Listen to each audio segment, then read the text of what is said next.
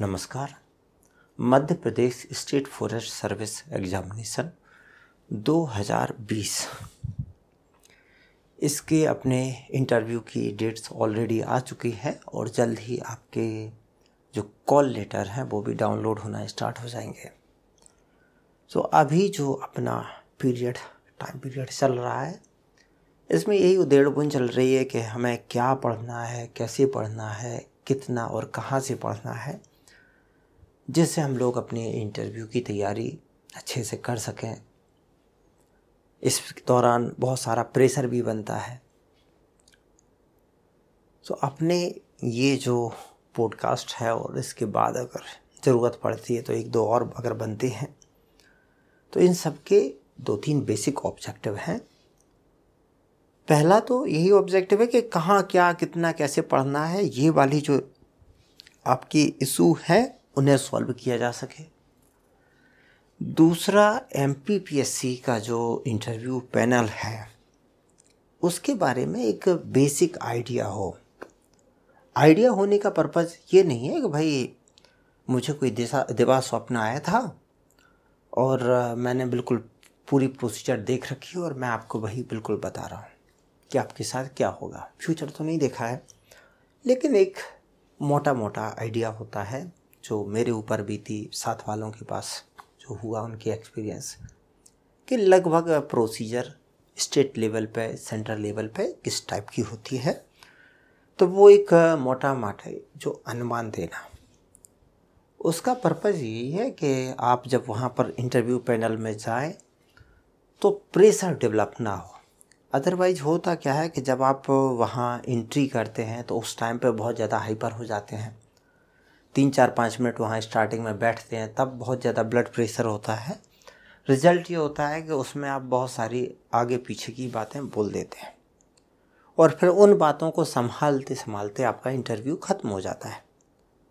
Result ये होता है कि थोड़ा ये लगता है, यार इंटरव्यू हमारा ख़राब हो गया।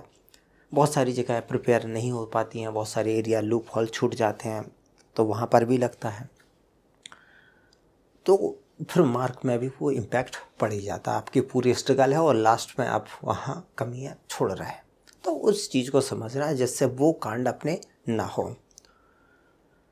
तीसरा ये भी पर्पज़ है कि कुछ और चीज़ें हैं जैसे आपकी हॉबीज़ शौक़ हैं। अब देखो फॉर्म भर चुके हैं तो उनमें चेंज करने की कोई ऑप्शन है नहीं। लेकिन आप में से बहुत सारे लोग हैं, लगभग 150 प्लस हैं, जिनकी हॉबीज़ को चेक किया है जिन्होंने फॉर्म भरा है ऑनलाइन इन सब में कई लोगों की तो बहुत अटपटी टाइप की हॉबीज़ है। देखो हॉबीज़ जो है, वो पहली बात हर आदमी की डेवलप हों, ये ज़रूरी नहीं है। हम सभी middle class lower middle class में आते हैं। मेजोरिटी लोअर मिडिल क्लास में है। आप सभी का लगभग आलमोस्ट सेम इकोनॉमिक कंडीशन है। इसमें ग्रेजुएशन करते करते पहले ही चीज़ें डेवलप नहीं हो पाती हैं। फिर जैसे पीएससी की प्रिपरेशन में गए आप फ़िल्में देखते हो, म्यूज़िक है, सिंगिंग है इको टूरिज़्म है। तो फ़र्स्ट थिंग ये है कि वो पहले कभी था एकेडमिक्स में है, वो अभी भी हो, ज़रूरी नहीं है। फ़र्स्ट थिंग हॉबी डेवलप हो, ज़रूरी नहीं है, बहुत सारे लोगों की नहीं हो पाती है। जैसे मेरी कोई हॉबी डेवलप नहीं हो पाई। स्ट्रगल का पीरियड रहा, नहीं हो पाई, क्या कर दें? दूसरा हॉबी जो शौक़ है, वो हमेशा वही रहे ये ज़रूरी नहीं है। समय के साथ चेंज हो जाता है। मान लो मैं एकेडमिक्स में था, मुझे क्रिकेट खेलना पसंद था, या फुटबॉल या वॉलीबॉल या गेम या मूवी वॉच करना पसंद था।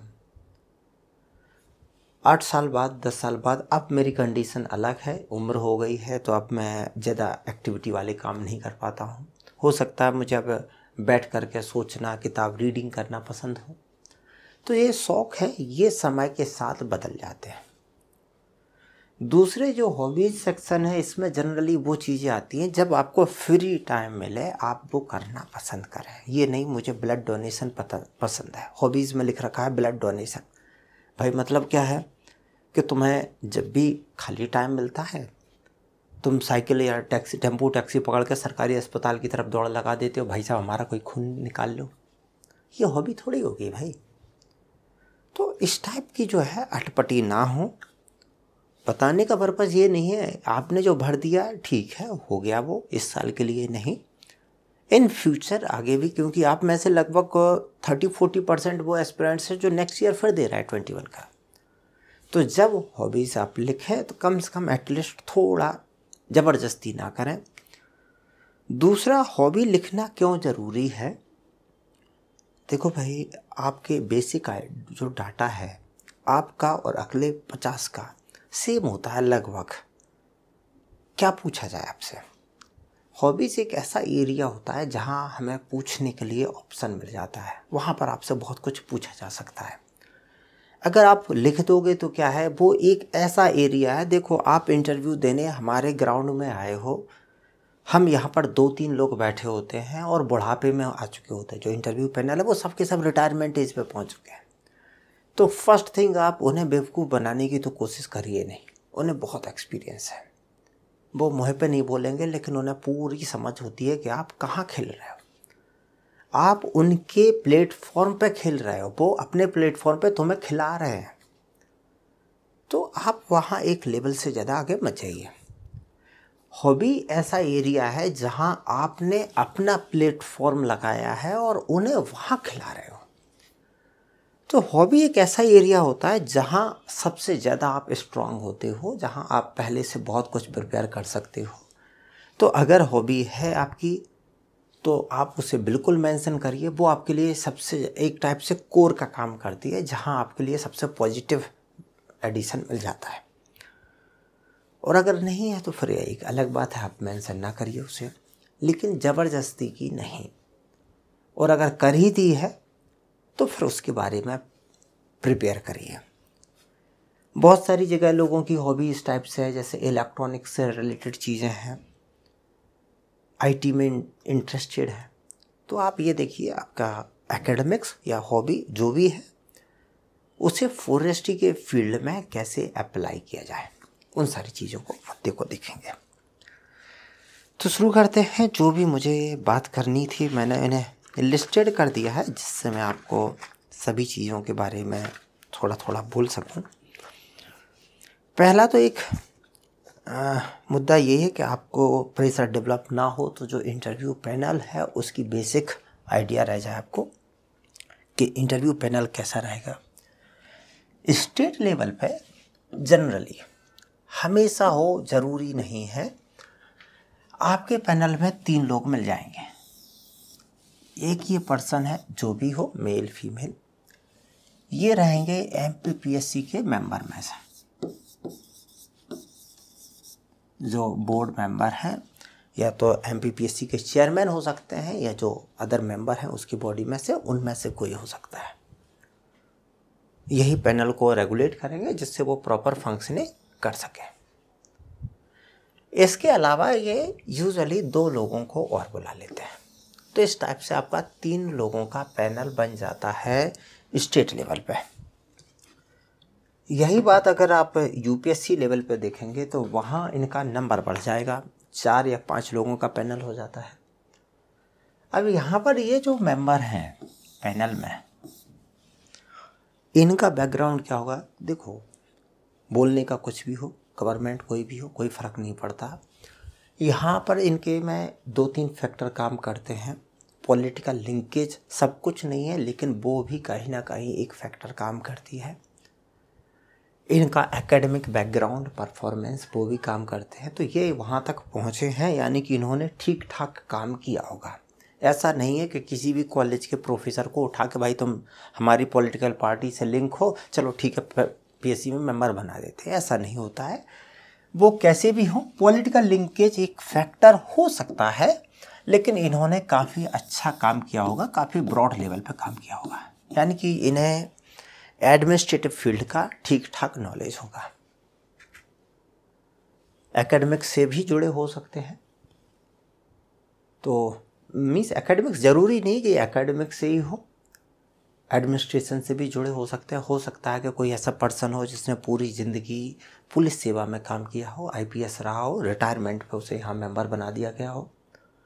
एकेडमिक से कोई professor head HOD vice chancellor इस टाइप का कोई पर्सन रहा हो तो ये एकेडमिक नॉन एकेडमिक दोनों ही टाइप के हो सकते हैं। और अगर ये एकेडमिक है, यानी कि इनके पास टेक्निकल इस टाइप की नॉलेज अपने फ़ील्ड की अच्छी होगी।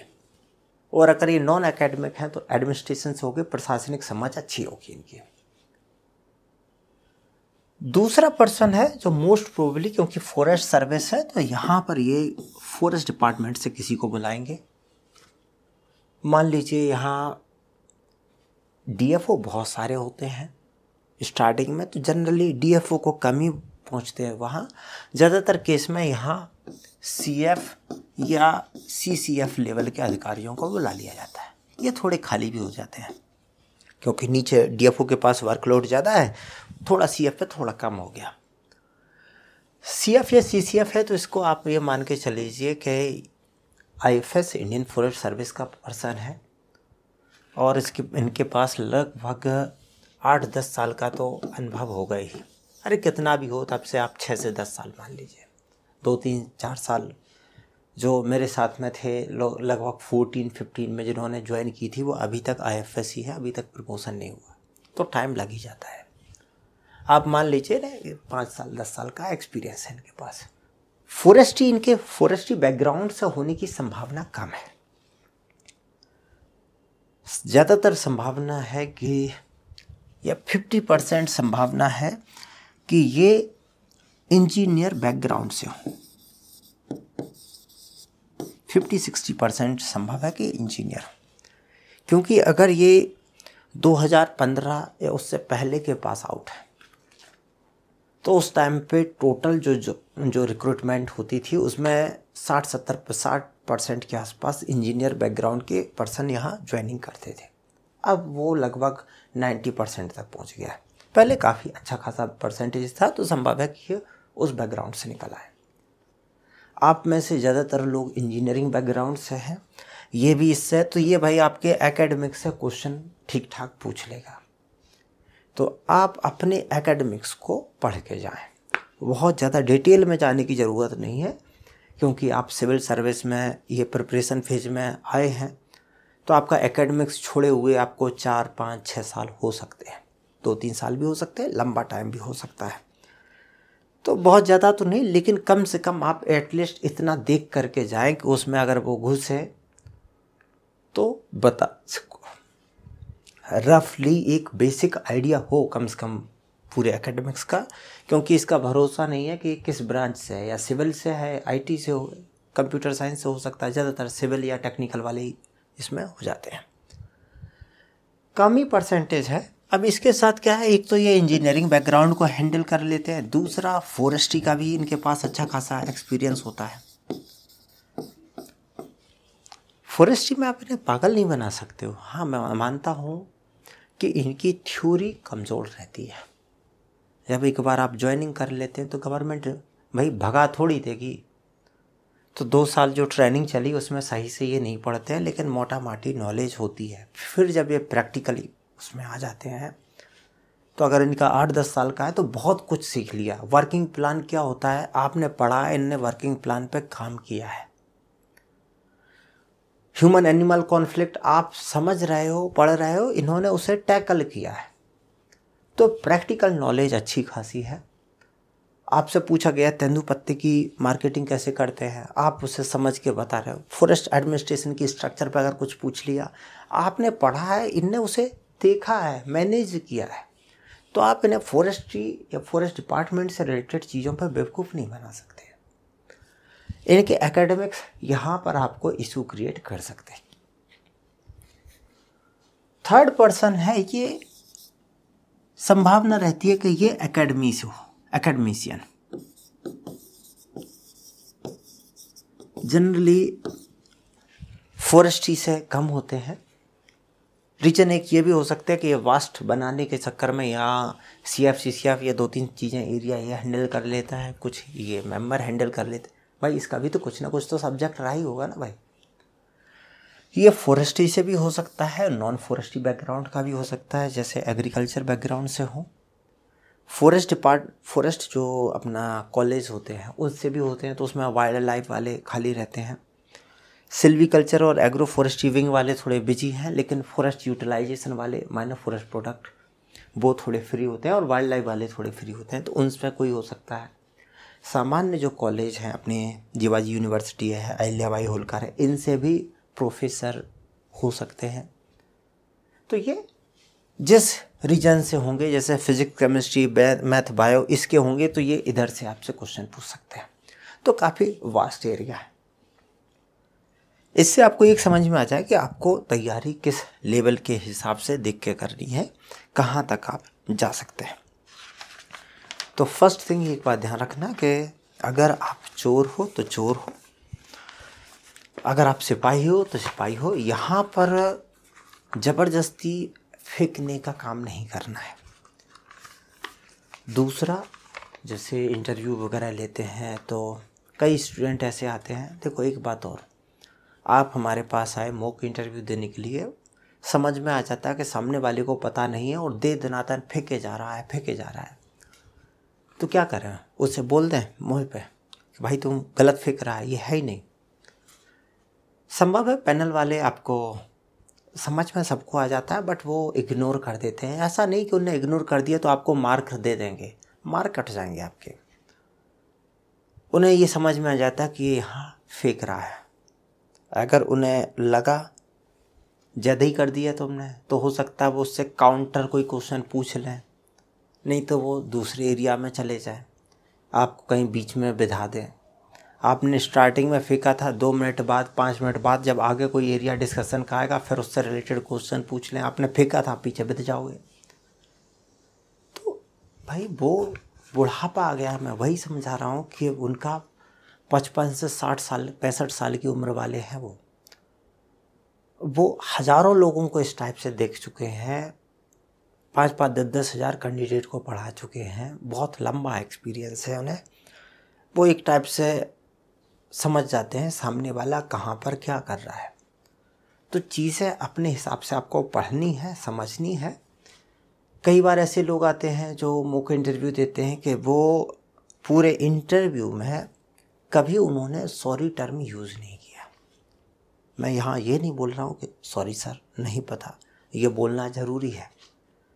जहाँ पर आपको लग रहा है कि मैं गलत हो सकता हूँ, मुझे सही नहीं पता है तो आप वहाँ रुक जाइए। Sorry sir I have no idea मुझे इसके बारे में पता नहीं है। मैं आगे देखूँगा। या इसके बारे में मुझे प्रॉपर नहीं है। शायद मैं थोड़ा बहुत गैस कर सकता हूँ, लेकिन एग्जैक्ट फिगर नहीं है। तो आप वहाँ पर एक दो जगह आराम से टर्म यूज़ कर सकते हो। ये एक टाइप से आपका थोड़ा लूज मीन्स ये नहीं है कि आप डाउन हो रहे हैं। एक टाइप से आपको ये बता देता कि आप थोड़ा झुक भी सकते हैं, झुकाव आप दे रहे हैं। बहुत ज़्यादा भी नहीं कि आप बिल्कुल ज़मीन पे लेट जाइए, हर बात पे सॉरी लेकिन कम से कम जहाँ ज़रूरत है, वहाँ झुक जाइए। उसमें कोई बुराई नहीं है। वो एक टाइप से नॉर्मल देता है। ये समझ में आता है कि हाँ ये सामने वाला पर्सन है।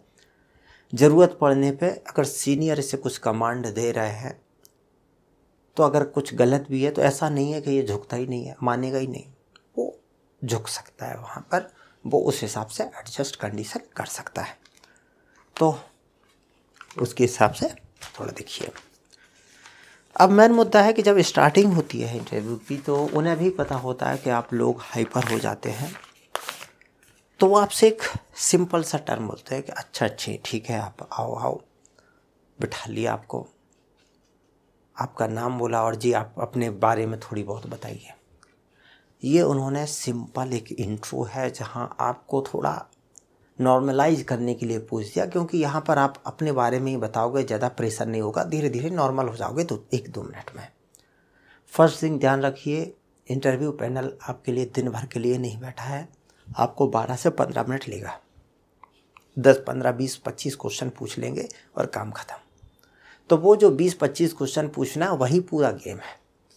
आपको दो मिनट के लिए बोला तो आप दो मिनट में बेसिक वो चीज़ें बताइए, जहाँ से आप क्वेश्चन वो पूछें तो दे सके। देखो, यहाँ पर उसने सीधा आपको बॉल दी है, आप किधर गोल करना चाहते हो। आप जिधर बॉल फेंकोगे, पूरा इंटरव्यू पैनल उधर ही चला जाएगा। आपसे जैसे पूछा, भाई, अपने बारे में बताइए। तो आप अपने आपको लगता है कि एकेडमिक्स आपकी जो इंस्टीट्यूट है वो अच्छी है? तो थोड़ा बहुत इंस्टीट्यूट से लिंकेज कुछ बता सकते हो? आपका नाम फैमिली बैकग्राउंड पापा क्या करते हैं? कहाँ से हैं? डिस्ट्रिक्ट से? फैमिली किस टाइप की है? रूरल है अर्बन है? किस बैकग्राउंड की है? एजुकेशन आपका क्या रहा? फॉरेस्ट्री से कैसा लिंकेज वगैरह है? थोड़ा बहुत अगर है पहले से तो वो बता दीजिए। ये चीज़ें एक्चुअल में सामने वाले के लिए सीधा सीधा काम करती है। उसे पहले से भाई बोर हो जाता है दिन भर ले लेके। तो उसने आपने जो फुडर दिया, वहाँ से वो सीधे क्वेश्चन उठा लेगा।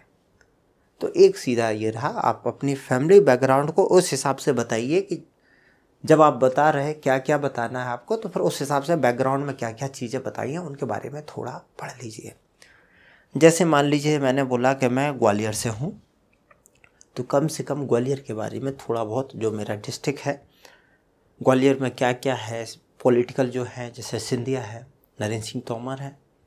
तो ये जो पॉलिटिकल लीडरशिप है, उनके बारे में अटल जी थे, उनके बारे में हिस्टोरिकल जो डेवलपमेंट हुई है पास्ट की, उनके बारे में, एक बेसिक आइडिया हो। ऐसा नहीं कि मैं बिल्कुल खाली हूँ। तो जो हिस्टोरिकल चीज़ें हैं पॉलिटिकल है जियोग्राफिकल है हमारे यहाँ एग्रीकल्चर रवि खरीफ, जायद कौन सी क्रॉपें होती हैं? मानसून में क्या चल रहा है? कौन कौन सी वेजिटेशन है? पाँच दस एनिमल प्लांट्स के नाम? वो बेसिक आइडिया हमें अपने फैमिली बैकग्राउंड के बारे में होना चाहिए। दूसरा, मेरे फादर क्या करते हैं? वहाँ पर मैंने ऑक्यूपेशन में जब फैमिली बैकग्राउंड बताया तो मैंने बताया कि पापा भाई ये करते हैं। वो एक अच्छा पॉइंट है सामने वाले के लिए कि मैंने कि पापा जो है हमारे वो खेती बाड़ी करते हैं जनरली गेहूँ, चावल, ये खेती हमारे यहाँ होती है। तो मैंने उसे सीधा सीधा एक फोल्डर दे दिया है कि भाई हमारे यहाँ गेहूँ, चावल ये होता है तो वो सीधा वहाँ पर आ सकता है कि अच्छा गेहूँ है, वो रवि की फ़सल है या खरीफ की है, या जायद है कौन कौन सी फ़सल होती है, मिट्टी किस टाइप की है? तो आप अपने यहाँ की मिट्टी को देखिए, उस मिट्टी की कुछ प्रॉपर्टीज़ हों सॉइल की प्रॉपर्टीज़ उसे देख लीजिए। बहुत डिटेल में नहीं जाना है लेकिन कम से कम बेसिक आइडिया हो कि आपके यहाँ ब्लैक कॉटन सॉइल है तो कॉटन सॉइल में क्या प्रॉपर्टी और वहाँ पर मतलब किस टाइप के क्रैक आ जाते हैं? मिट्टी में पानी ज़्यादा जाता है, नहीं जाता है? कौन सी वेजिटेशन आसपास के पाँच दस पेड़ों के नाम? वो एक बेसिक आइडिया आपको हो वहाँ पर। फिर यही है रबी खरीफ कौन सी क्रॉप है? मानसून सॉयल रेगर पेड़ पौधे, जानवर भाई बहन का क्या एकेडमिक्स रहा? आपके एकेडमिक्स पे क्वेश्चन आ जाता है। आपका एकेडमिक क्या है? बीएससी आईटी से मतलब अच्छा भाई आईटी से हो, ठीक है। अभी क्या कर रहे हो? आपने बोला मैं कोडिंग में हूँ। भाई देखो कोडिंग में हो आप तो आपकी ऑब्वियसली पाँच दस साल में आप करोड़ों में खेलोगे। तो फिर यहाँ पर ये पैंतीस चालीस हज़ार की जॉब में क्या मिलेगा आपको? तो आप वो जो चीज़ें हैं, आप प्रेजेंट में क्या, छुपाने वाली बात नहीं है। क्या है? आप प्रेजेंट में क्या कर रहे हैं? फॉरेस्ट में क्यों आना चाहते हैं? इंटरेस्ट क्यों है फॉरेस्ट में? वैलिड रीज़न होना चाहिए। ऐसा नहीं कि मैं ज़बरदस्ती कुछ भी बोले, उस पर सोचो। आप अपने एंड पे सोचिए, क्योंकि मैं अगर कुछ बता दूँगा, सबके सब वही बोल के आएँगे। आप पहले बोल जाओगे, आपके बाद वाला चार भी वही बोल के आएँगे वहाँ पर। तो उसे ये लगेगा कि ये सब के सब वही कहीं से कॉपी मार के आए। तो आप अपने एंड पे सोचिए कि भाई फॉरेस्ट्री आप ज्वाइन क्यों करना चाहते? हैं अंदर से भाई। और पढ़िए उसे। बहुत सारे वैलिड रीजन मिल जाएँगे आपको। गूगल करिए और केवल बनावटी नहीं, सच में थोड़ा उन पर सोचने की कोशिश करिए कि एक्चुअल में आप क्यों करना चाहते हैं। जो एक्चुअलिटी है वो है। ज़बरदस्ती का कोई फ़ायदा नहीं है क्योंकि ज़बरदस्ती एक जगह आप ज़बरदस्ती कर भी दोगे तो वो आगे पाँच मिनट बाद आपकी हॉबी से काउंटर हो जाएगी। आपके जो शौक़ हैं, यहाँ पर आपको शौक़ लिखा है इको टूरिज़्म यहाँ पर फॉरेस्ट्री में इंटरेस्टेड है लगता है कि भाई आप उससे हो। आपकी हॉबी है क्रिकेट खेलना। आप कहीं और कुछ और काम करते हैं और यहाँ पर आप फॉरेस्ट में इसलिए बोले, भाई बहुत हमें इंटरेस्ट है, हम बर्ड वाचिंग के लिए निकल जाते हैं, जब भी होता है घूमने निकल जाते तो फिर भाई इतना सारा काम करते हो आप, फिर आपकी हॉबी साइकिलिंग या क्रिकेट खेलना है। ये इको टूरिज़्म वगैरह इससे जुड़ा क्यों नहीं है? तो ये काउंटर हो जाते हैं बीच में। तो आप जो भी है, जैसा भी है, अपने हिसाब से सही से बोलिए, उसमें कोई दिक्कत नहीं है। जॉब के बारे में आता है, मुद्दा पे स्किल से रिलेटेड इशू है। आप आर एफ़ ओ हैं तो मान लीजिए स्टार्टिंग में आपको अड़तीस से चालीस हज़ार, पहले पैंतालीस के आसपास मिल जाएँगे। अगर आप मतलब लड़की हैं तो आपको थोड़ा एरिया सिक्योर एरिया दिया जाएगा जॉब के लिए। मेल है तो आपको ऑब्वियसली थोड़ा हार्स एरिया मिल जाता है। लेकिन आप ऐसे आर एफ़ ओ आपको ग्वालियर, इंदौर, भोपाल, इस टाइप की सिटी तो नहीं मिलने वाली भाई। एक्सेप्शनली मिल जाए, अलग बात है, लेकिन आपको रूरल एरिया ही मिलेंगे। हो सकता है आप ब्लॉक या तहसील लेवल पे आपको घर मिल जाएगा, आप वहाँ रह सकते हैं। तहसील लेवल पे जनरली एजुकेशन सिस्टम ठीक ठाक है तो आप अपने बच्चों को वहाँ पढ़ा सकते हैं, वो एक मुद्दा रहेगा। कि मान लीजिए मैं आप लोगों की टीचिंग कराता हूँ तो मुझे ग्वालियर में सुविधाएँ हैं हेल्थ फैसिलिटीज़ हैं, मेरे बच्चे सही से पढ़ सकते हैं। अगर मैं आरएफओ बन जाऊँगा, किसी तहसील में पढ़ा रहूँगा, मुझे अगर सिमिलर पे स्किल पे एक जगह आरएफओ की जॉब मिल रही है और चालीस हज़ार ना सही, अड़तीस हज़ार सही अगर मुझे ग्वालियर में मिल रही है तो मैं क्यों आरएफओ की पोस्ट ज्वाइन करूँ? या कम से कम मेरे बच्चों का फ्यूचर बन सकता है? फैमिली के पास हूँ मैं, जबकि वहाँ पता नहीं मैं ग्वालियर से हूँ और मुझे सिवनी, छतरपुर कहीं डाल रखा है, खंडवा, छिंदवाड़ा कहीं भी डाल दिया मुझे। तो मैं वहाँ से आना जाना ये चीज़ें नहीं हो पाती है। मान लो मैं घर में अकेला हूँ भाई बहन हूँ, बहन की शादी हो गई या हो जाएगी तो मैं अकेला हूँ माँ बाप के। पूरी ज़िंदगी जॉब मुझे बालाघाट में करनी है और मैं रहते ही ग्वालियर में, कैसे मेंटेन करूँगा मैं? तो बहुत सारे इशू हो जाते हैं तो उनको थोड़ा बहुत देखिए कि भाई क्या किया जा सकता है। हालाँकि इन पर स्टेट लेवल पे ऐसे क्वेश्चन थोड़े कम ही पूछते हैं। ये कोई आपसे नहीं पूछेगा अच्छा सेकुलरिज्म खतरे में है। हाई कोर्ट सुप्रीम कोर्ट जो आजकल गाइडलाइन दे रहा है, जब देखो तब किसी भी एंगल में चले जाते हैं। आप क्या कहना चाहते हैं? सुप्रीम कोर्ट सही है, नहीं है? बाइडन को ट्रंप को कूट देना चाहिए। ट्रंप को बाइडन को कूट देना चाहिए। पुतिन को न्यूक्लियर दे मारना चाहिए रसिया के उसके यूएस के ऊपर। यूएस को न्यूक्लियर बॉम्ब इटली को दे देना चाहिए। आर्मेनिया और अजरबैजान के बीच में लड़ाई हो रही है हमारे क्या इंटरेस्ट है? ये सब बातों से यहाँ स्टेट पीएससी में कोई लेना देना नहीं है। यहाँ पर बेसिकली ये लोग ये मान के चलते हैं कि जो स्टूडेंट आ रहे हैं इनके पास, उनकी एक लेवल से ऊपर समझ नहीं है। तो वो नॉर्मल उसी स्फीयर में डिस्कस करते हैं। वो आपसे इस लेवल की बात करेंगे ही नहीं। क्योंकि करेंगे क्या? उन्हें लगभग लंबा एक्सपीरियंस रहता है। अगर वो इस टाइप की बातें पूछने लगे तो सौ में से नब्बे स्टूडेंट पे क्वेश्चन समझ में नहीं आएँगे आधे को। उन्हें यही समझ में नहीं आता है कि यूक्रेन रसिया बार हो रहा है। इसमें रसिया के क्या पॉइंट्स हैं? और वेस्टर्न कंट्रीज़ के क्या पॉइंट्स हैं? ये होना चाहिए नहीं होना चाहिए, इशू कहाँ है? इंडिया का वहाँ पर क्या पॉइंट होना चाहिए? हमें किधर जाना चाहिए? कोई आइडिया नहीं है, वो उतनी पे ही। सीमित है तो उनकी लिमिटेशन है, वो एक लेवल से ज़्यादा इन चीज़ों पर नहीं जाते हैं। तो हमें उतने में, उस एंगल पे जाने की हमें भी ज़रूरत नहीं है। हाँ अगर आप यूपीएससी वगैरह, क्योंकि आप में से काफ़ी ऐसे एस्पिरेंट्स हैं जो ऑलरेडी यूपीएससी दे चुके हैं, कई बार दे चुके हैं रिटर्न दे चुके हैं इंटरव्यू दे चुके हैं। इस टाइप के लोग अगर वहाँ इंटरव्यू पैनल में पहुँचते हैं, या फिर आपने बोल दिया, आप आईआईटी बीएचयू से हैं, रुड़की से हैं, किसी आईआईटी आईएएम से हैं, या किसी प्रेस्टिजियस कॉलेज या यूनिवर्सिटीज़ हैं तो आपसे ये उम्मीद करके चलते हैं वो कि आपका लेवल एक ठीक ठाक लेवल होगा। तो आपसे एक्सपेक्टेशन उनकी बढ़ जाती तो आपसे थोड़ा बहुत ऐसा पूछा जा सकता है अदरवाइज़ वो नहीं पूछेंगे। फिर मेन मुद्दा वही है कि फॉरेस्ट्री का एक इशू आ जाता है। आप में से काफ़ी लोग हैं जैसे कि बोला कि हमें इको टूरिज़्म पता है। एक सिंपल सा सबसे पहले वो बवाल कर लेते हैं। अच्छा आप फॉरेस्ट्री क्यों ज्वाइन करना चाहते हैं? तो फिर आप में से दुनिया भर के लोग बोल देते हैं, हम ये किए थे, वहाँ गए थे, हमें नेशनल पार्क इस एरिया में घूमने पसंद है। मॉर्निंग वॉक पसंद है तो अच्छा पूछ लेते अच्छा तो किसी national park wildlife sanctuary में गए थे? तो आप कोई ना कोई कभी कभी यार घूमे ही होते हैं तो बता देते हैं। फिर बोल देंगे अच्छा वहाँ पर क्या क्या देखा आपने? अब आपने बोला, ये ये ये देखे हमने। तो अच्छा एमपी स्टेट बर्ड कौन सा है? स्टेट ट्री कौन सा है? आपने बोला, मैं उत्तराखंड एमपी का है तो इसका मतलब ये नहीं है कि उत्तराखंड या हरियाणा का या हिमाचल का नहीं पूछा जा सकता है। अगर आप घूमने हिमाचल में गए हो, उधर लेह लद्दाख घूम आए हो आपने बोला तो फिर आपसे पूछा अच्छा हिमाचल का स्टेट बर्ड कौन सा है? भाई, आप नहीं घूमे तो क्या हुआ? वो जो सीएफ है, वो तो घूम चुका है ना भाई।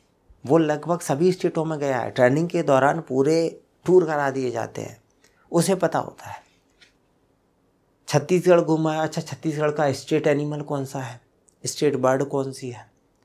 तो अगर आप उस एरिया में घूमने गए हो और आपने उसे यहाँ इंटरव्यू में अगर आप उसे यूज़ कर रहे हो तो उस स्टेट के बारे में थोड़ी बेसिक जिस एरिया में गए स्टेट की छोड़ दो, कम से कम जिस एरिया में गए हो नेशनल पार्क है वाइल्ड लाइफ सेंचुरी है, वहाँ पर पाँच दस प्लांट एनिमल्स जिन्हें देखा है आपने, उन्हें बता दीजिए।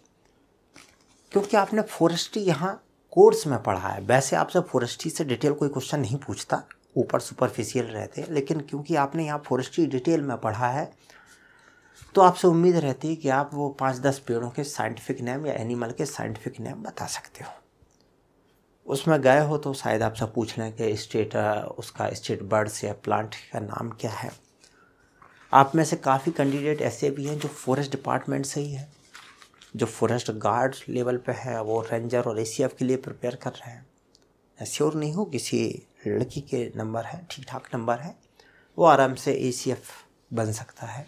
उम्मीद है। अब ऐसे कैंडिडेट जो है वो फॉरेस्ट डिपार्टमेंट से हैं तो उनका पूरा का पूरा जो इंटरव्यू है वो फॉरेस्ट्री के आसपास ही होगा। उनसे कोई ये क्वेश्चन नहीं पूछेगा कि भाई साहब, आप फॉरेस्ट्री में ही क्यों इंटरेस्टेड भाई इंटरेस्टेड क्या? उसकी जॉब ही है वो। जो फॉरेस्ट्री बैकग्राउंड से एकेडमिक बैकग्राउंड से है, उससे ये कोई नहीं पूछेगा कि तुम फॉरेस्ट में क्यों इंटरेस्टेड हो? आरएफओ क्यों बनना चाहते हो? एसीएफ क्यों बनना चाहते भाई उसका फ़ील्ड है वो। इंटरेस्टेड उसका होने का कोई मुद्दा ही नहीं बचता है। ये क्वेश्चन उससे पूछा जाता है जिसका बैकग्राउंड नहीं है, जो सिविल इंजीनियर है हॉबी उसकी अलग है प्रोफेशनल अलग है, काम कहीं और कर रहा है और फॉरेस्ट्री में जॉब ले रहा है। तो यहाँ पर बनता है कि भाई, तुम इतने घूमे फिरे हो, फिर फॉरेस्ट्री में ही क्यों? ये क्वेश्चन कि मैं नेचर के लिए काम करना चाहता हूँ पब्लिक भलाई ये चीज़ें नहीं चलती हैं। आप वैलिड पॉइंट देखिए। नेचर के लिए अगर काम करना चाहते हैं तो इतना माथा पच्ची करने की क्या ज़रूरत है? बहुत सारी एन जी ओज़ हैं डब्ल्यू डब्ल्यू एफ़ है Bombay natural history society B N H S है, और भी बहुत सारी एन जी ओ है। आपको अपनी खड़ी करने की ज़रूरत नहीं है। आप उनके साथ जाइए, आराम से काम करिए। पंद्रह बीस दिन महीने भर। उनमें जो आपकी प्रोग्रेस है, पैसा भी है और प्रोग्रेस भी है, वो फॉरेस्ट डिपार्टमेंट के कंपेयर में ज़्यादा है। और अगर आप वहाँ काम अच्छा करते हो तो वहाँ पर तो आपको नेशनल लेवल पे एशिया लेवल पे काम करने का मौका मिलेगा। तो वो भी एंगल है तो आप ऐसा नहीं कि हमें नेचर में ही जाना है तो उसके अगर उन्होंने काउंटर कर दिया तो आपके पास कुछ ऑप्शन होना चाहिए। तो आप उस हिसाब से आप उस फ़ील्ड में क्यों जाना चाहते हैं, उसके आप आंसर ध्यान रखिए। इसमें ये भी आता क्योंकि काफ़ी लोग हैं जो प्रिपरेशन करते हैं तो उनसे पूछ लिया जाता है कि भाई आपने फिर सिविल भी दिया होगा एमपी में? सिविल में क्यों नहीं जाना चाहते? या आपने बोला, नहीं, मुझे फॉरेस्ट ही देना है। अच्छा तो फिर आपको सिविल में क्यों नहीं जाना है? क्या आपने यूपीएससी वगैरह का एग्ज़ाम दिया है? फॉरेस्ट सर्विस का दिया है? अगर आपने बोला हाँ तो फिर भाई उधर क्यों नहीं गए?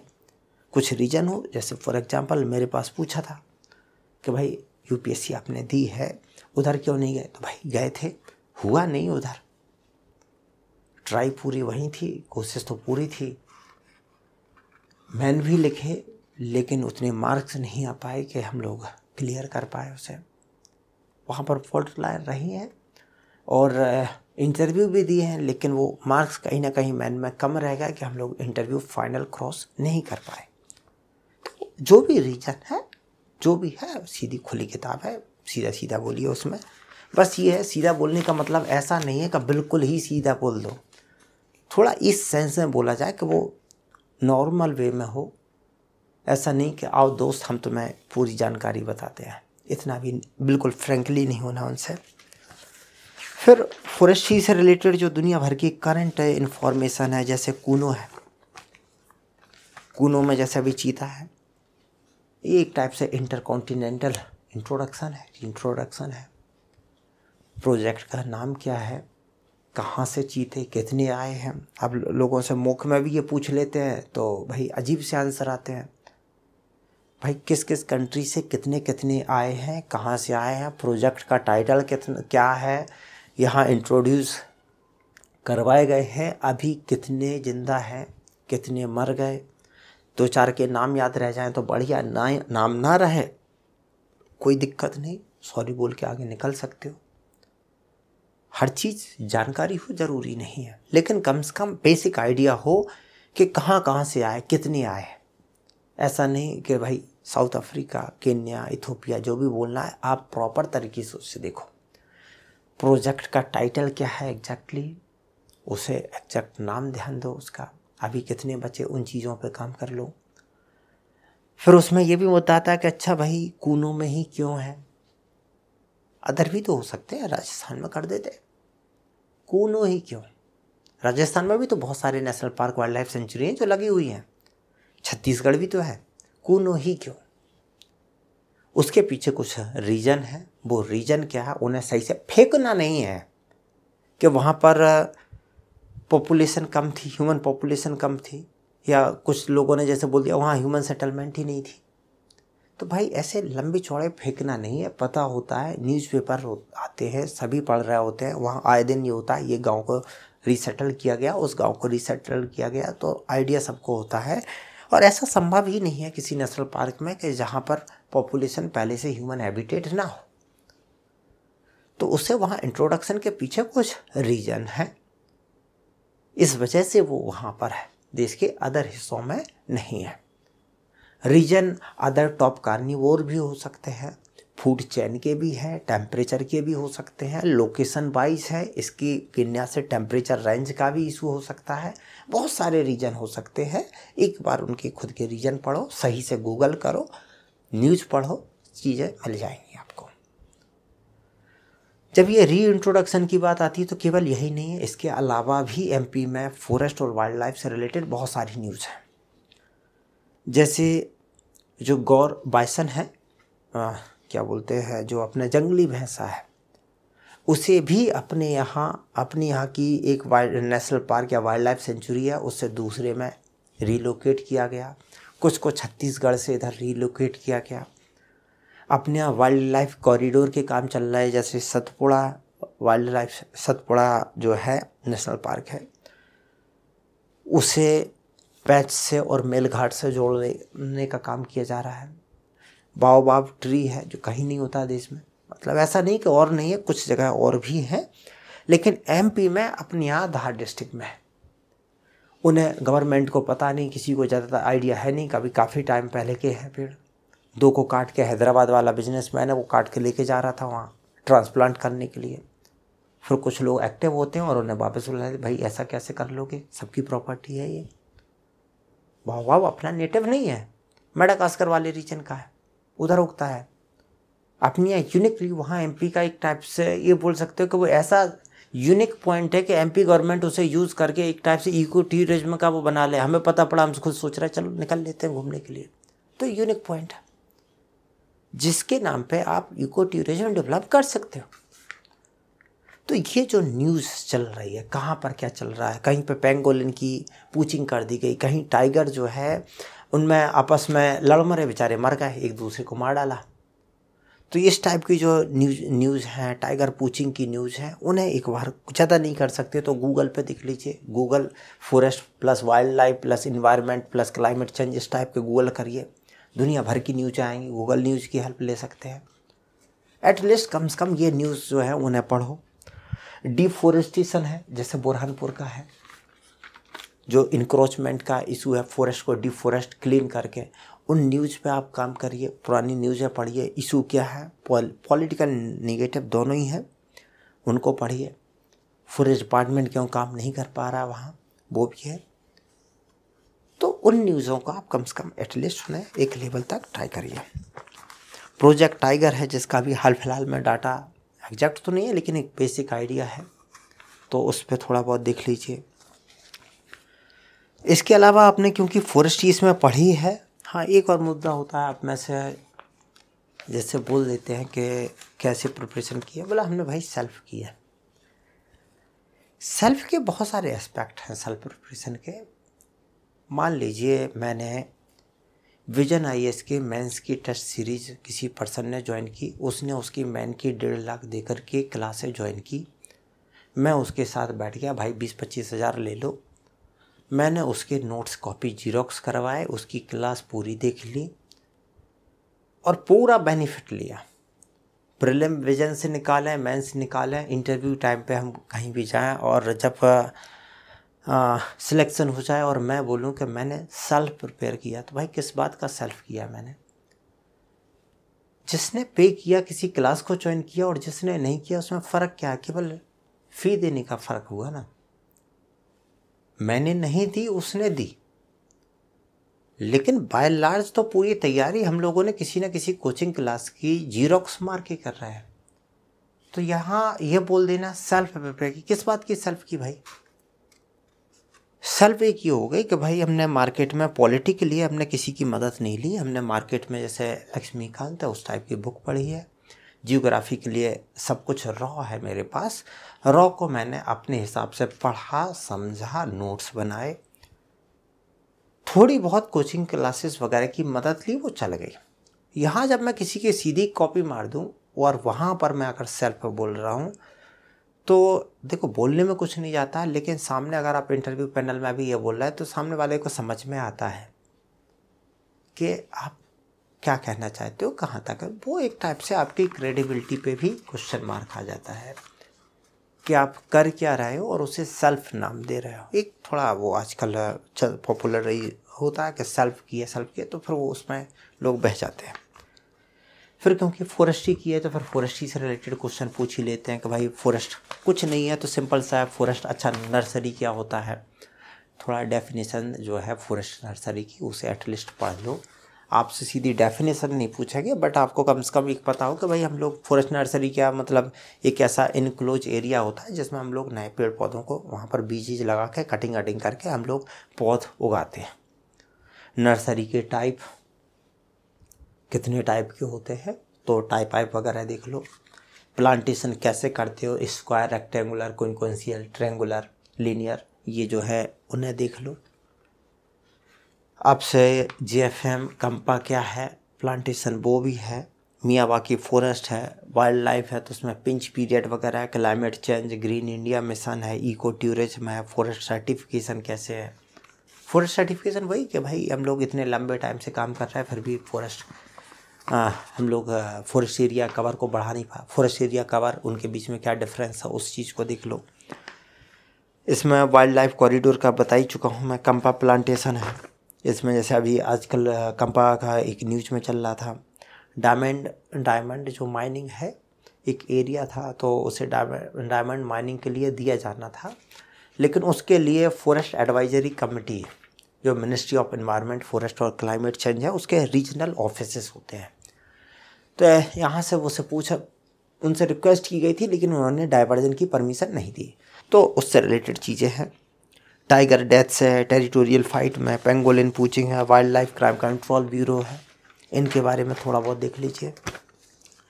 डिफॉरेस्टेशन में बुरहानपुर का केस बताई दिया है फॉरेस्ट राइट एक्ट इनके पीछे कहीं ना कहीं फॉरेस्ट राइट एक्ट या वन अधिकार अधिनियम है, वो भी एक कारण हो सकते हैं। तो हमेशा यही नहीं है कि लोगों ने जंगल साफ़ कर दिए, उस पर कब्जा करने लगे, ऐसे हो गया, ये है फॉरेस्ट डिपार्टमेंट काम नहीं कर रहा, बेईमान है करप्ट है पॉलिटिकल लीडरशिप है, वो बेकार है। केवल वही नहीं होता है। यहाँ आप किसी पॉलिटिशियन को गलिया नहीं सकते, आप सिविल नहीं हो, आप उस एडमिनिस्ट्रेटिव का पार्ट बन रहे हो, आप हमेशा जो लीगल जो है एडमिनिस्ट्रेटिव और जो लीगल मेजर्स है, उसके हिसाब से देखोगे, भावनाओं में बहने का यहाँ काम नहीं है। आपको ऑब्जेक्टिव होना पड़ेगा वहाँ। तो यहाँ जो इशू है, जैसे फॉरेस्ट राइट एक्ट के कि वहाँ पर वो कुछ टाइम काम कर रहे हैं, फिर वो पॉलिटिकली वोट बैंक की पॉलिटिक्स कई बार हो जाती है। तो वो फॉरेस्ट राइट एक्ट को एज ए टूल यूज़ कर लेते हैं और उस पर अपना दावा करते हैं। उस एक्ट के कुछ ऐसे प्रोविज़न है जिसकी वजह से कई बार हमें पीछे हटना पड़ता है फॉरेस्ट डिपार्टमेंट को और वो वहाँ जाते हैं। तो इस, ये फॉरेस्ट राइट एक्ट के प्रोविज़न का भी एक कॉन्फ्लिक्ट है, जिसे दूर किए जाने की ज़रूरत है। और इसे ऐसा नहीं कि गवर्नमेंट नहीं कर रही है। फॉरेस्ट कंजर्वेशन एक्ट उन्नीस जो अस्सी है, उसका 2018 में ड्राफ्ट आया था, जिसमें इसे थोड़ा रेगुलेट किया गया था, लेकिन बाद में वो ड्राफ्ट वापस ले लिया गया। अभी प्रेजेंट में जो फॉरेस्ट पॉलिसी है उन्नीस सौ अट्ठासी, उसका ड्राफ्ट ऑलरेडी स्टैंडिंग कमेटी के पास है, जो हम लोग उस पॉलिसी में है और चेंजेस करने की कोशिश कर रहे हैं। फॉरेस्ट एरिया जो है, अपने लंबे टाइम से हम लोग काम कर रहे हैं। हर साल दुनिया भर का प्लांटेशन प्रोजेक्ट चलते हैं, फिर भी हम लोग बढ़ा नहीं पा रहे हैं तो उसे थोड़ा कॉमर्शियल एंगल से देखने की ज़रूरत है। बूस्टअप के लिए जैसे कोई भी एरिया होता है गवर्नमेंट कर रही है किसी एरिया में बिज़नेस जैसे कम्युनिकेशन है, पहले गवर्नमेंट थी बीएसएनएल प्राइवेट सेक्टर आ गया, बहुत कुछ बढ़ गया। फॉरेस्ट्री में भी अगर प्राइवेट कॉरपोरेट्स ऐसे आ जाए, मान लो मुझे पढ़ाने में तुम लोगों ने दिमाग का दही कर दिया फ़ीस दे नहीं पा रहे हैं, या दे नहीं रहे, चोरी बहुत ज़्यादा कर लेते हैं, हमारी दुकान नहीं चल रही है, बंद कर दिया हमने। अब हम लोग नर्सरी का काम करने लगे, काफ़ी हाई लेवल पे। तो एमपी गवर्नमेंट क्या कर सकती है कि भाई नर्सरी का अपने जो स्टाफ है उसे बिज़ी ना रख के हमारी नर्सरी से ख़रीद लें। हम लोग उनके production per unit production cost से सस्ते में गवर्नमेंट को दे रहा है। तो गवर्नमेंट वो काम करने लगे। कहीं प्लांटेशन का काम करना है, अभी प्लांटेशन के काम गवर्नमेंट खुद ही करती है। किसी फॉरेस्ट एरिया में प्लांटेशन करना, उसके लिए पाँच करोड़ आए। फॉरेस्ट गवर्न ये अपने गवर्नमेंट क्या कर दे, बोला, इस एरिया में प्लांटेशन करना, कौन कितने में करेगा? ये ये स्पीसीज करना, तीन साल उसको वहाँ पर ज़िंदा पेड़ चाहिए। पाँच करोड़ प्रोजेक्ट को आए थे, वो ऑक्शनिंग करेगा। मैंने बोला, मैं तो ढाई में ही कर दूँगा। मैं ऑक्सीजन जीत गया, मैं उसमें ढाई में करके दूँगा मैं उन्हें। तो इस टाइप से प्लांटेशन जो है वर्क इसमें प्राइवेट सेक्टर की एंट्री आ जाए प्राइवेट कॉरपोरेट्स आ जाए जॉइंट फॉरेस्ट मैनेजमेंट के अंदर इस टाइप की कुछ चीज़ें आ जाए तो हम लोग वहाँ बढ़ा सकते हैं। तो ये अपने एरिया है जहाँ पर काम किया जा सकता है स्पीडली जो फॉरेस्ट कवर और फॉरेस्ट एरिया खासकर फॉरेस्ट कवर बढ़ाने के लिए। फॉरेस्ट सर्टिफिकेशन है एग्रो फॉरेस्ट्री और सोशल फॉरेस्ट्री उनको प्रमोट किया तो ये जल्दी थोड़ा रैपिड हो जाएगा। इसके अलावा फिर आपकी हॉबी वाला है, जैसे इलेक्ट्रिकल इंजीनियरिंग है। देखो, यहाँ पर हॉबी में वही है कि हमारी लिमिटेशन है। मैं आपसे एक लेवल से ज़्यादा हॉबीज़ में नहीं पूछ सकता। मूक में हम लोग ट्राई करते हैं एक लेवल तक, क्योंकि जितना भी अदर स्टाफ में कुछ ऑलरेडी सिलेक्टेड आईएफएस हैं एसीएफ हैं। तो उनके भी एक लिमिटेशन है। अगर उनका एरिया आपसे मैच करता है तो वो उस एरिया में क्वेश्चन पूछ लेते हैं। लेकिन तब भी बहुत सारी पॉसिबिलिटी रहती है क्योंकि हम भी पंद्रह बीस मिनट आधा घंटे से ज़्यादा आपको टाइम नहीं दे पाएँगे। लिमिटेशन हो जाती है वहाँ पर। अगर आपको मैं दो घंटे दूँगा तो पूरे दिन में चार लोग हो पाएँगे। तो इंटरव्यू मुख्य इंटरव्यू के लिए हमें दो चार मंथ चाहिए। सो so, अगर हम लोग आपसे आपके एकेडमिक बैकग्राउंड पे नहीं पूछ पा रहा है इसका मतलब ये नहीं है कि वो नहीं पूछेंगे। कोई भरोसा नहीं है कि ऊँट किस करवट बैठे। तो अपने एकेडमिक बैकग्राउंड को थोड़ा ठीक से प्रिपेयर करके जाइए। फॉरेस्ट्री को एक रफली ऊपर से एक मोटा माटी आइडिया जो है वाइल्ड लाइफ का है, उसको एक जो करंट न्यूज़ है, उसको ठीक ठाक से प्रिपेयर करिए। वहाँ फेंकने की ज़रूरत नहीं पड़े। एक इशू ये और आता है कि मान लो मेरे मार्क्स कम है, मैं ओबीसी कैटेगरी में हूँ, मेरे मार्क्स 240 हैं। तो मैं सोच रहा हूँ कि यार होगा तो है नहीं, क्यों तैयारी कर रहे हैं, बस ऐसे। तो भाई ऐसे मत जाइए। आप इंटरव्यू बिल्कुल पूरी तरीके से जाइए। आपका भले ही मार्क्स कम हो, आपके होने ना होने में लास्ट में दो चार मार्क, तीन, पाँच, दस मार्क का ही फ़र्क पड़ेगा। आपने यही सोचा कि मेरा तो होगा नहीं और आप थोड़ा ढीले गए। आपसे दो मार्क नीचे वाला था, लेकिन वो ठीक गया। कट ऑफ़ में आपके, आपको आठ, जो भी है, आपका आठ और उसका दस, ग्यारह का। मतलब लास्ट में उसने दो तीन मार्क्स आपसे ज़्यादा ले लिए। आप कट ऑफ़ से कुछ मार्क पहले ही कट गए। कई बार ऐसा होता है। हम लोग जो एक्सपेक्ट करते हैं, इसलिए मैं आपसे बोल रहा हूँ कि जब तक लास्ट रिज़ल्ट नहीं आ जाता, तब तक हार मत मानिए, आपके जो भी मार्क्स हों। बिल्कुल फुल तैयारी होके करिए। एक तो फुल तैयारी होके करोगे तो उसका फ़ायदा क्या है? पूरी तैयारी से गए ना। तो आप जब इंटरव्यू देते हो एक्चुअल में तो आपको अपनी जो लूप होल है, कमियाँ हैं, वो वहाँ पता पड़ती हैं सही से।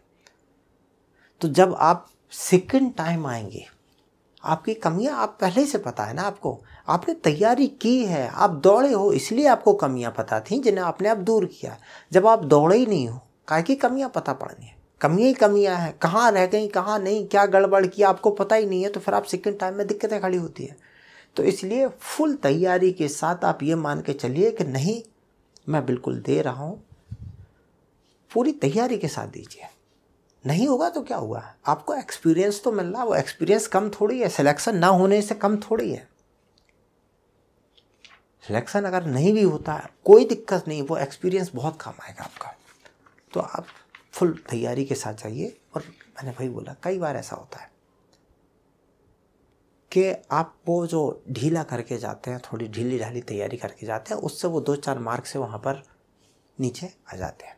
वेटिंग में तो आ जाओगे कम से कम। वो भी वहाँ पर लॉस होता है।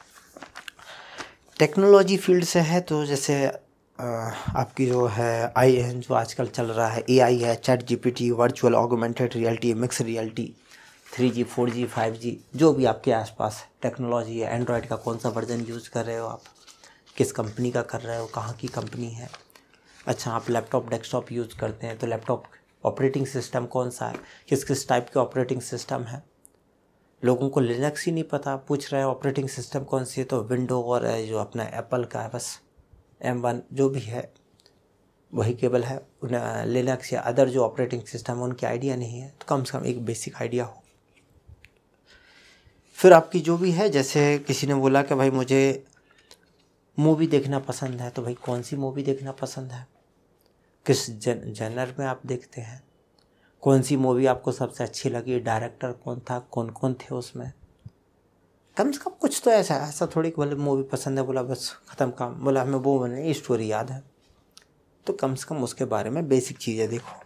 डायरी राइटिंग है, कुछ इतिहास, उसका हिस्ट्री फ़र्स्ट टाइम किसने लिखी, क्या मतलब कुछ तो बैकग्राउंड होगा ना भाई, कि इस इस टाइप से लिखी जाती है, ऐसी ऐसी टाइप की डायरियाँ होती हैं, कुछ डायरियाँ इस टाइप से फ़ेमस हो रखी हैं, ये है, वो है, फलाना कुछ उसका बैकग्राउंड तो चार दिन खंगालो, क्या है उसका? आप योगा करते हैं, क्रिकेट खेलते हैं। क्रिकेट के में कौन सा प्लेयर पसंद है? कैसे पसंद है? क्यों पसंद है? कौन कौन से क्या कुछ रूल वूल हैं उसके? योगा में दुनिया भर के हैं। उनके बारे में देख लीजिए आप कुकिंग है, पसंद है आपको। क्या क्या पका लेते हैं? पकाने के, देखो, वहाँ पर पॉसिबल है कि कोई लेडीज़ भी बैठी हो। तो फिर वो कुकिंग में फिर आपको बिल्कुल उठा पटक मचा देगी। तो कम से कम पता होना चाहिए कि भाई कुकिंग शौक तो है म्यूज़िक सिंगिंग है कौन कौन सा सिंगर है क्या क्या करता है फोक डांस में कुछ है आपके एरिया के सिंगिंग में, उनके बारे में आपको क्या जानकारी है? तो ये सारी चीज़ें हैं, उनको कम से कम आप एटलीस्ट एक बार सही से प्रिपेयर कर लीजिए। दूसरा, हम लोगों की अपनी लिमिटेशन है। बहुत सारे ऐसे एरिया हो सकते हैं जहाँ पर हम लोगों ने डिस्कशन ना किया हो। तब भी कोई इशू नहीं है। आपके पास दो तीन ऐसे एरिया हैं जिसमें एक आपकी हॉबीज़ उन्हें आप अच्छे से प्रिपेयर करिए। दूसरा आपकी एकेडमिक है। फॉरेस्ट्री में एक लेवल तक आएगा। एक लेवल से ज़्यादा की उम्मीद नहीं रहती है। लेकिन फिर भी आप जितना उसके बारे में कंटेम्प्रेरी जो नॉलेज है आपने चार यूनिट पढ़ी है। चार यूनिट क्या उसमें बहुत कुछ पढ़ रखा है। तो उसका एक बेसिक मोटा माटी अनुमान हो पेड़ की हाइट कैसे मेजर करते हैं। उसके डायमीटर आपको मेजर नहीं करेंगे, कम से कम टूल तो पता हो कौन कौन से टूल हम लोग हाइट और डायमीटर मेज़रमेंट करने में करते हैं। वाइल्ड लाइफ सेंसस अभी हुई है टाइगर सेंसस अच्छा सेंसस के कौन कौन से मेथड है टाइगर के सेंसस कैसे करते हैं, कितने साल बाद की जाती है। एलिफेंट कॉरिडोर एलिफेंट सेंसस कब करते हैं? टाइगर में मेल फीमेल में क्या डिफरेंस है? कहाँ कहाँ पर टाइगर है? अपने यहाँ टाइगर स्टेट है तो अच्छा कितने टाइगर हैं एम में? लोयन केवल गुजरात में ही होते हैं। गुजरात वाले अपने यहाँ कूनों में नहीं ले आने देना चाहते हैं। क्यों नहीं ले देने चाहते हैं? अगर हम ले आए तो उससे फ़ायदा क्या है हमें? गुजरात वालों को लॉस क्या? क्यों गुजराती नहीं दे रहा है हमें भाई? कुछ तो पॉइंट्स है ना भाई। हम टाइगर लॉयन लेके आ जाएँगे। हम लॉयन प्रोजेक्ट चला देंगे अपना। चार लेके आएँगे, चालीस करके हम लोग बैठेंगे। पूरा टूरिज़्म आधा गुजरातियों का जो इको टूरिज़्म है, वो हम लोग यहाँ लॉयन में खा जाएँगे। अभी अगर आपको लॉइन देखना है तो गुजरात ही जाना पड़ेगा। चीता जो है वो अपने पास यूनिक है। चीता देखना तो बेटा कूनो ही आना पड़ेगा। मतलब MP forest department MP ecotourism जो है, वहाँ पर ही आपको इन्वेस्टमेंट पैसा खर्च करना पड़ेगा। तो वो अपने पास यूनिक चीज़ है। तो उन चीज़ों पे ध्यान दीजिए। बकाए की भी और बहुत सारी मुद्दे हैं। आप उन पर तैयारी करिए। और नेक्स्ट जो मेन मुद्दा था, उसकी स्ट्रक्चर समझना देखो, वहाँ पर कुछ प्रोसीजरल कॉमन सी हैं। जैसे आप वहाँ पर इंटरव्यू से पहले जाओ ड्रेस कौन सी भाई फॉर्मल सी जो ड्रेस है, आप फॉर्मल में पहन के जाओ। और भी ड्रेस से क्या पहनना है, कैसे पहनना है, क्या बोलना है, क्या नहीं बोलना है, इससे रिलेटेड मुनल सर की जो पूरी सीरीज़ है, उसे टेलीग्राम ग्रुप पे ऑलरेडी डाला गया है। क्योंकि उन्होंने बहुत अच्छे से एक्सपीरियंस है। भाई, उन्हें बहुत लंबा एक्सपीरियंस है। वहाँ पर प्रॉपर तरीके से उन्हें एक्सप्लेन किया तो भाई उन्हीं के काम को, उसी टाइप के काम को दोहराने का कोई मतलब नहीं है। पहले से ही वहाँ पढ़ी हो, उन्हें आप वॉच करिए, क्या बोलना है, क्या नहीं बोलना है, कैसे पढ़ना है, कैसे। जो एक बेसिक है, वो ऑलरेडी वहाँ पर है, उस सीरीज़ को आप वॉच करिए प्रॉपर तरीके से। फिर भी अगर कहीं दिक्कतें आती हैं तो आप बिल्कुल पूछ सकते हैं, आप सबके लिए ऑलरेडी मैसेज बॉक्स ओपन ही रहते हैं। हाँ लेकिन ये है कि हमारे एक लिमिटेशन है। देखो भाई, सीधी सी बात है कि मान लीजिए आप से फ़ी ली है पाँच हज़ार प्रैक्टिकली पाँच हज़ार फ़ीस ली है, मान लो आप सौ लोगों, हमारे पास आया पाँच लाख। वो पाँच लाख में से लगभग नब्बे हज़ार के आसपास तो जीएसटी कट जाती है। Portal charges other charges cut के वो पाँच लाख जो आया था, वो हमारे तक पहुँचते पहुँचते पौने चार के आसपास बचता है। फिर वो बैकग्राउंड की रनिंग कॉस्ट है जो आपको स्टडी मटेरियल दिया जाता है कंटेंट डेवलपमेंट किया जाता है तो वो कॉस्ट हम तक फाइनल पहुँचते पहुँचते जो स्टेट है अपना एमपी का प्रोजेक्ट है, जो आप लोगों का 2020 वाला ये एग्ज़ाम का बैच था। मान लो हमें प्रॉफिट फाइनल लास्ट में पड़ा है पंद्रह हज़ार बीस हज़ार। पंद्रह बीस हज़ार में मैं आपकी मोक इंटरव्यू के लिए कौन से टी को बुला के ले आ जाऊँ भाई? अगर कोई रिटायर्ड सीएफ है उसकी बेसिक रिक्वायरमेंट है एटलीस्ट उसे आठ से दस हज़ार रुपये पर डे देना होते हैं। वो पाँच छः इंटरव्यू देगा मतलब पर हेड मुझे जा रहा है, वो लगभग एक इंटरव्यू जाता है ढाई हज़ार का। क्योंकि दो लोगों को उन्हें बिठा लो, तीसरा भाई, मैं अपने आप को खुद एडजस्ट कर लेता हूँ, जिससे तीन का पैनल बन जाए और ख़र्चा कम हो। नहीं तो भाई, मैं उन्हीं को बिठा लूँगा, अपने खर्चा कम करने के लिए मैं खुद घुस जाऊँ बीच में। इसके बाद भी जो खर्चे हैं, वो कहाँ से आएँगे? भाई, लाइट बिल है। रेंट है तो नहीं बचता भाई। तो फ़र्स्ट थिंग है ये, जिंदी छुरी भाई थोड़ी कम कर देना तो कम से कम ये मौके इंटरव्यू हो जाए। अदरवाइज़ होता कुछ नहीं है। एमपी वालों के प्रोजेक्ट रन करने के लिए पता पड़ता है आईएफएस वालों का फंड डालना पड़ता है तो फिर उससे रिज़ल्ट ये होता है कि जब उसमें हम लोगों को कुछ नहीं मिलेगा तो फिर आपके मूव इंटरव्यू एक लेवल से ज़्यादा बेटर करवाना हमारे लिए संभव ही नहीं है। कहाँ से भाई दूसरे आईएफएस वालों का पैसा अगर इधर लगा देंगे तो फिर आईएफएस वाले क्या करेंगे? तो वो आप लोगों के ऊपर है। आप लोग क्या करना चाहते हैं? अगर आप लोग मतलब जीरोक्स ये इसी में काम में खुश हैं तो भाई खुश रहिए उसमें।